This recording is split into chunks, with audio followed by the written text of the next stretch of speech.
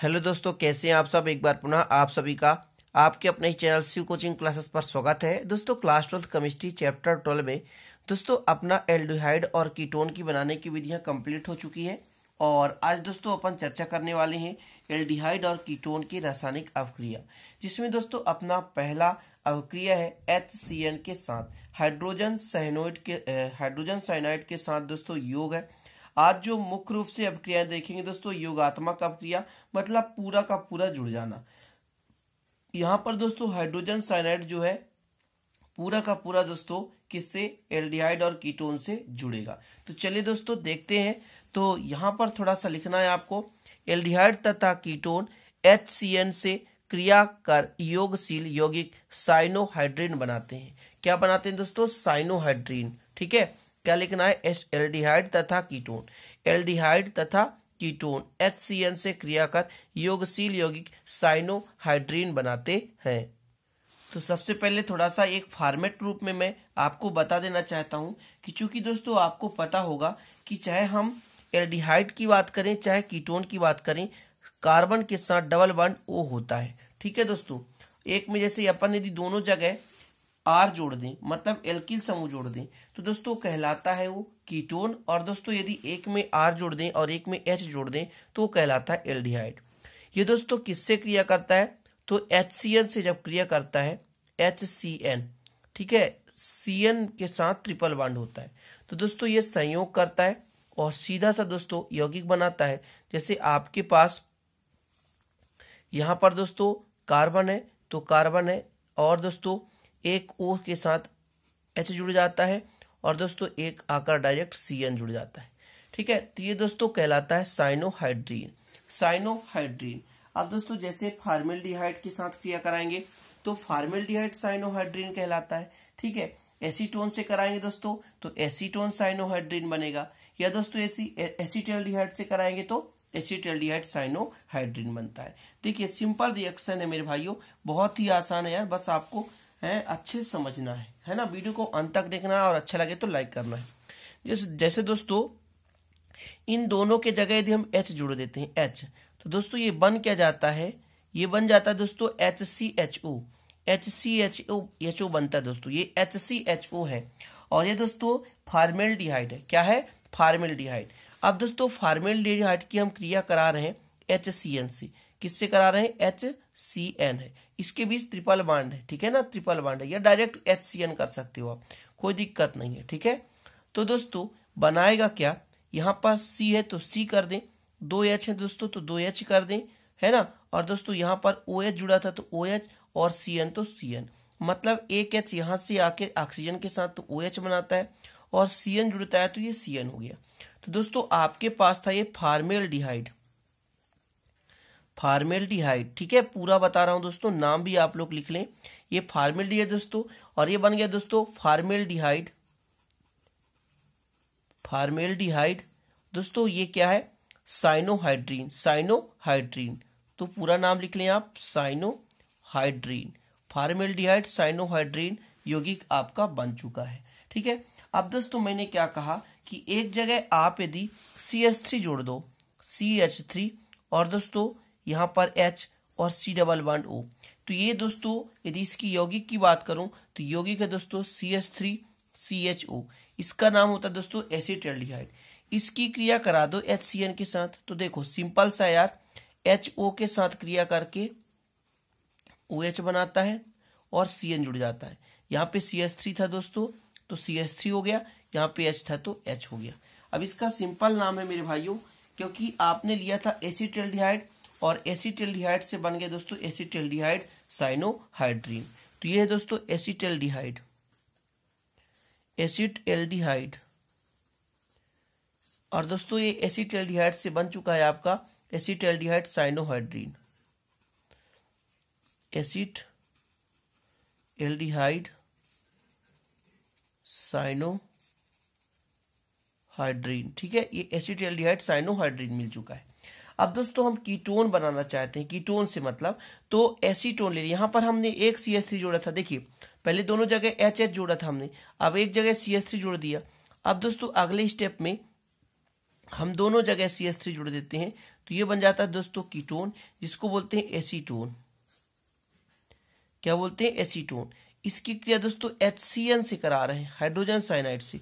तो होता क्या दोस्तों? एच यहाँ पर ऑक्सीजन से जुड़ता है तो C S three C S three और दोस्तों सी इसके साथ जुड़ गया ओ OH और दोस्तों यहाँ पर जुड़ गया सी एन ये दोस्तों बन गया एसीटोन क्या बन गया? एसीटोन दोस्तों। और पूरा आप लोग साइनोहाइड्रीन लिख दें। साइनोहाइड्रीन। ठीक है, साइनोहाइड्रीन। इस प्रकार दोस्तों जो HCN का योग था, वो पूरा का पूरा हो गया। अब यहाँ पर दोस्तों, जितना आपने तीनों रिएक्शन देखा, उन तीनों रिएक्शनों में आप लोगों ने देखा पूरा का पूरा दोस्तों HCN जुड़ जाता है, योग हो जाता है। तो दोस्तों, इसको हम क्या कहेंगे? तो इसको हम कहेंगे योगात्मक अवक्रिया क्या कहेंगे दोस्तों? योगात्मक अवक्रिया मतलब जब पूरी तरह से जुड़ जाए, पूरी तरह से योग हो जाए दोस्तों तो वो कहलाता है योग अवक्रिया या योगात्मक अवक्रिया तो आशा करता हूँ ये अवक्रिया तो समझ में आ ही क्या होगा। चलिए दोस्तों, देखते हैं अगला अवक्रिया तो ये रहा दोस्तों, अगला रिएक्शन अपना सोडियम बाई सल्फाइड का योग। सोडियम बाई सल्फाइड ठीक है? दोस्तों, इसका हम योगात्मक अपक्रिया ही पढ़ रहे हैं तो योगात्मक अपक्रिया ही देखेंगे। सोडियम बाई सल्फेट का सॉरी सोडियम बाई सल्फाइड का दोस्तों, सूत्र यदि मैं बात करूँ तो होता है N A H S O three यदि एसओ फोर होता दोस्तों सोडियम बाई सल्फेट कहलाता। लेकिन N H S O three है दोस्तों, इसका नाम है सोडियम बाई सल्फाइड ठीक है? चीज़ें क्लियर है? योगात्मक आप क्रिया देखेंगे दोस्तों तो देखिए, पहले आप कोई भी एल्डिहाइड से करा दें, फिर कीटोन से करा दें। तो दोस्तों, आपके पास एक एल्किल समूह है, और सी एच ओ ये दोस्तों, आपका क्या है? ये दोस्तों एसिड एल्डिहाइड है। इसकी क्रिया करा रहे हैं दोस्तों N A H S O three तो दोस्तों, जो सोडियम है, इस पर पॉजिटिव और यहाँ इससे ए हो जाता है निगेटिव तो बनाता क्या है दोस्तों? देखिएगा। यहाँ पे आपके पास कार्बन था। कार्बन के साथ दोस्तों सी एच थ्री जुड़ा हुआ है। तो सी एच थ्री जोड़ दे और हाइड्रोजन जुड़ा दोस्तों तो हाइड्रोजन जोड़ दे। ये ऑक्सीजन है दोस्तों तो ऑक्सीजन जोड़ दे। यहाँ पे एच आता है तो एच जुड़ जाता है। और दोस्तों यहाँ से क्रिया करता है एसओ थ्री है ना? और दोस्तों ये निगेटिव के रूप में और सोडियम आकर पॉजिटिव के रूप में होता है। और दोस्तों ये आपका बना क्या? तो दोस्तों, बना, ये था एसिड एल्डिहाइड एसिड एल्डिहाइड और दोस्तों, इसका नाम हो जाएगा उसी से कि एसिड एल्डिहाइड एसिड एल्डिहाइड दोस्तों, सोडियम बाइसल्फाइड सोडियम बाइसल्फाइड ये दोस्तों, बन गया आपका सोडियम बाइसल्फाइड चीज़ें क्लियर दोस्तों? तो सोडियम बाइसल्फाइड का योग हो रहा है तो सीधा का सीधा दोस्तों जो पूरा का पूरा योग हो जाता है, वो कहलाता है योगात्मक अपक्रिया ठीक है? अब जैसे मैं कीटोन लेना चाहता हूँ तो यदि मैं जोड़ दूँ सी एच थ्री और सी एच थ्री दो एल्किल मूलक हैं दोस्तों, और कार्बन के साथ डबल बॉन्ड के साथ ऑक्सीजन जुड़े हुए हैं, इसकी क्रिया दोस्तों सोडियम बाइसल्फाइड एसओ थ्री हो गया निगेटिव हो गया पॉजिटिव हो गया। इसकी क्रिया करा रहा हूँ दोस्तों तो बनेगा क्या? देखिए, यहाँ पर सी एच थ्री है और दोस्तों, यहाँ पर भी कितना सी एस थ्री। ये आपके पास कार्बन है, ऑक्सीजन के साथ दोस्तों ये हाइड्रोजन जुड़ता है तो ओ OH बना लेता है। और इस कार्बन के साथ दोस्तों, यहाँ से उठता है आपका एसओ थ्री निगेटिव है ना? और दोस्तों एन ए पॉजिटिव और ये बना लेता दोस्तों, आपका ये था एसीटोन तो एसीटोन लिख दें आप। और दोस्तों, क्या बना है? सोडियम बाइसल्फाइड तो लिख सकते हैं आप सोडियम बाई सल्फाइड। क्लियर दोस्तों? और इसका भी नाम क्या है दोस्तों? इसका नाम है एसीटोन। इस प्रकार दोस्तों, एसीटोन से एसीटोन सोडियम बाइसल्फाइड बन गया, योगात्मक अपक्रिया की क्रिया फलस्वरूप। क्योंकि दोस्तों, योगात्मक अपक्रिया में क्या होता है ना, पूरा का पूरा योग हो जाता है यार। यहाँ पर आप लोगों ने क्या सीखा? सोडियम बाइसल्फाइड के योग से। कि सीधा का सीधा दोस्तों, सीधा क्या करता है? योग करता है। यहाँ पर देखिए आप, पूरा योगात्मक अपक्रिया ही देख लिया आप लोगों ने। ठीक है तो ये दो अपक्रिया क्लियर हो गया। अब दोस्तों, अगला अपना ग्रिग्नार्ड अभिकर्मक के योग से।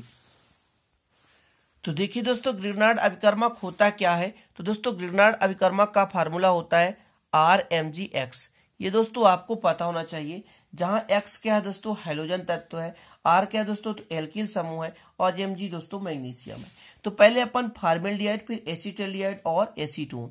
इन तीन चीज़ों को समझेंगे दोस्तों। क्रम से सीधा सा अपन समझते हैं। आपको हिंदी लिखना तो लिख सकते हैं कि ग्रिगनाड अभिकर्मक, है ना, कार्बोनिल यौगिक से योगशील यौगिक बनाते हैं। योगशील मतलब सीधे के सीधे दोस्तों जुड़ जाते हैं। एक योगशील यौगिक बनाते हैं, क्योंकि योगात्मक अपक्रिया ही पढ़ रहे हैं यार, ठीक है?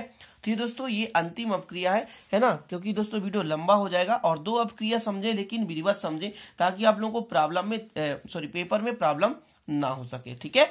तो चलिए देखते हैं दोस्तों, जब आपके पास एच होता देखिए एच सी एच ओ है दोस्तों क्या? ये फार्मेल्डिहाइड है। यदि मैं ले लेता C H three C H O है तो दोस्तों एसिटेल्डिहाइड है। और यदि मैं ले लेता C H three C O C H three तो ये दोस्तों एसीटोन है। अब दोस्तों इन तीन चीज़ यौगिक है ना, ये बार बार आपको देखने को मिल रहे हैं। अभी आपने दो रिएक्शन देखा, वहाँ भी मिला ये, और इसमें भी मिल रहा है। दोस्तों ये बेसिक है। और पढ़ना ज़रूरी है, क्योंकि हर एक मतलब अवक्रियाओं में दोस्तों ऐसे यौगिक मिलते हैं। ऐसे बीस यौगिक है दोस्तों, जिनको आप याद कर लें तो आधा ऑर्गेनिक केमिस्ट्री आपका क्लियर हो जाए। बीस यौगिक जो बार बार आते हैं, जैसे ये तीनों यौगिक दोस्तों बार बार आते हैं। इसी प्रकार से कोई अम्ल ले लो, जैसे H C L H C L बार बार आता है। पानी जल अपघटन बार बार आता है। तो वैसे बीस पच्चीस यौगिक दोस्तों जो कि आधी ऑर्गेनिक केमिस्ट्री को बना के रखा हुआ है। है ना? तो चीज़ें समझें और यौगिक को बिल्कुल नाम लिख लिया करें, याद कर लिया करें। तो सबसे पहले अपन लेके चलते हैं दोस्तों, क्या? तो अपन लेके चलेंगे फार्मेल्डी हाइट तो दोस्तों देखिए, एक कार्बन है और इसके साथ दोस्तों एच जुड़ा हुआ है और एच और डबल वन ओ ये कहलाता है दोस्तों formaldehyde H C H O ये फार्मेल्डिहाइड है। इसकी किया दोस्तों आर एम जी एक्स तो आर के जगह कुछ भी जोड़ दें, जैसे सी टू एच फाइव जोड़ दें और एम जी दोस्तों, और एक्स के जगह बी आर जोड़ दें। तो होता क्या दोस्तों? कि यहाँ पर एच है तो एच ही रहने देना। इसमें कोई इंटरफेयर नहीं करना है। कार्बन है तो कार्बन यहाँ पे इंटरफेयर करना थोड़ा सा। जैसे ओ है ना तो ओ करके इस एम जी बी आर को जोड़ दो। और दोस्तों, एक कार्बन के साथ जो वैलेंसी अभी नहीं है तो ये सी टू एच फाइव जुड़ गया। इसका दोस्तों हम जल अपघटन कराएँगे सॉरी इसका अपन क्या करा रहे हैं? जल अपघटन एस टू ओ दोस्तों एस टू ओ में होता क्या? देखिए, तीन पदों में होगा तो आपके में इधर पेज नहीं है तो आगे चलकर इधर हम कर सकते हैं, ऐसे। या कि फिर इसको यहाँ करके ऐसा कर सकते हैं, कोई दिक्कत नहीं है। तो दोस्तों एच ओ एच में होता क्या है? देखिएगा, ये एच टू दोस्तों एच ओ एच कहलाता है एच ओ एच तो आपके पास कार्बन है तो कार्बन रहने दे। कार्बन रहने दे दोस्तों, और आपके पास एच था और एच था तो रहने दे। यहाँ पर ओ था दोस्तों तो ओ कर दे और एच आकर यहाँ से जुड़ जाएगा। तो ये ओ एच हो गया, ठीक है? और दोस्तों, चीज़ें और समझे। सी टू एच फाइव था तो सी टू एच फाइव रहने दें। साथ में दोस्तों, आपके बना क्या? तो यहाँ पर दोस्तों एम जी है। इसके साथ एक ओ एच यहाँ से उठा और ये बी आर बन गया। तो ये दोस्तों अपक्रिया तीन पदों में संपन्न हुआ। इसका क्रिया कराए तो ये मिला और इसके बाद ये मिला। तो आप परेशान नहीं होना। थोड़ा सा लंबा है, लेकिन कठिन नहीं है मेरे भाइयों। है ना? क्योंकि यहाँ पर जो प्रोडक्ट बनता है, उसको बनाना ही पड़ेगा। तो ये दोस्तों, अपना बना किससे? फार्मेल डिहाइड से। अब हम लेंगे एसिटेल देखिए एसिटेल डिहाइड लेते हैं। तो एसिटेल एक एच के जगह सी एच थ्री जोड़ दें और एच ठीक है? अब इस बार थोड़ा सा मैनेज करेंगे। C H three C H O दोस्तों एसिटेल इसकी क्रिया करा दें, जैसे C H three M G B R कोई ज़रूरी नहीं कि हम पूरा सी टू एच फाइव लें। इनका नाम दोस्तों, ये एसीटोन था। और ये दोस्तों हो गया जैसे यहाँ पर मेथिल मैग्नीशियम ब्रोमाइड ये दोस्तों बनाएगा क्या? तो वही सिस्टम होगा। सी एस थ्री है इसके साथ कार्बन इसके साथ हाइड्रोजन जुड़ा हुआ है। यहाँ पर दोस्तों ओ है तो ओ रहने दो और एम जी बी आर जोड़ दो। साथ में दोस्तों यहाँ पर सी एस थ्री जोड़ दो।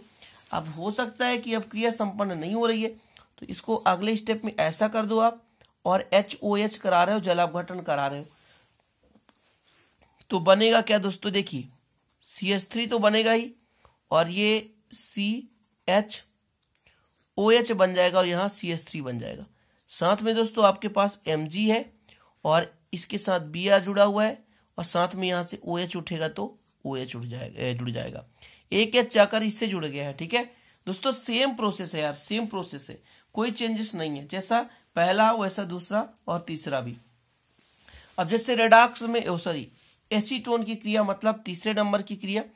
यहाँ भी सी एस थ्री और यहाँ भी सी एस थ्री जब दो एल्किल मूलक जुड़े होते हैं दोस्तों, और कार्बन के साथ डबल बॉन्ड ओ के साथ जुड़ा होता है तो ये दोस्तों कहलाता है एसीटोन इसकी क्रिया करा रहे हैं आर एम जी एक्स तो आर की जगह क्या ले लें दोस्तों? सी टू एच फाइव ले लेते हैं और एम जी बी आर और दोस्तों रिएक्शन करा दें तो क्या बनेगा? तो यहाँ पर देखिए, वही सिस्टम है यार, कुछ भी नहीं है। तो C H three C H three और C O M G B R डरने की ज़रूरत नहीं है छोटे छोटे रिएक्शनों से। ये छोटे रिएक्शन है, कोई टफ रिएक्शन नहीं है। यदि डर गए दोस्तों तो मर गए और रिएक्शन फिर कभी नहीं बनेगा। एच ओ एच जल अपघटन करा दो तो मुख्य रूप से बनेगा C H three C H three C और यहाँ पर ओ एच पुनः बन गया और सी टू एच फाइव इस प्रकार दोस्तों, आपने, है ना, फार्मेल्डिहाइड से, एसिटेल्डिहाइड से और दोस्तों, किससे आपने प्राप्त कर लिया? तो ये है दोस्तों आपका क्या? एसीटोन। एसीटोन से मिल गया। तो योगात्मक अपक्रिया थे। तो तीन प्रकार से योगात्मक आपने पढ़ लिया। और अगले वीडियो में इसी प्रकार रासायनिक समीकरण आपको मिलते रहेंगे। आप लोग प्ले लिस्ट में जाएँ। पूरा विधवत पढ़ाई करें। क्लास ट्वेल्थ क्लास इलेवन जिस क्लास के हो, सारी पढ़ाई आप कर सकते हैं, फिजिक्स और केमिस्ट्री अभी। तो चलते हैं दोस्तों, मिलेंगे अगले वीडियो में नए टॉपिक के साथ। तब तक के लिए जय हिंद। बंदे मातरम।